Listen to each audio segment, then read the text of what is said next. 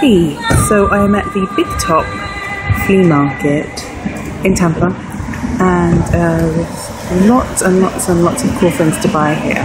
It's hot as well, it's hot as balls actually, but you can buy Dreamweavers, antique glasses, antique anything actually. A bike, brand new, or somebody's old yard sale bike. You can buy fruit and vegetables. There's a little organic section. There's a yard sale section. There's an everything section, and it's under one big kind of domey rooftop like this.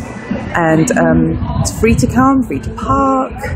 Come early though, because it really gets hot, hot, hot, and a lot of people leave early but there's some regulars here. Like there's ge- there's a whole geological rock section where you can buy all sorts of rocks. Um, a lot of rocks. But you know, kind of pretty good afternoon out. So nice and local and free.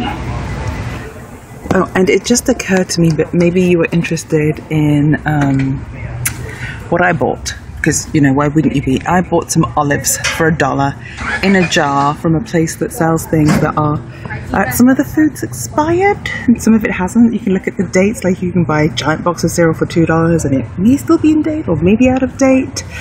Um, let's see, somebody else bought a little a little heart-shaped rock. One of my other friends bought a coloring book and a word puzzle book for her grandma. So a little of everything. A lot of dollars item type stuff. Uh, but like I said, you can buy bigger stuff too. What I bought was olives. That's my food of choice.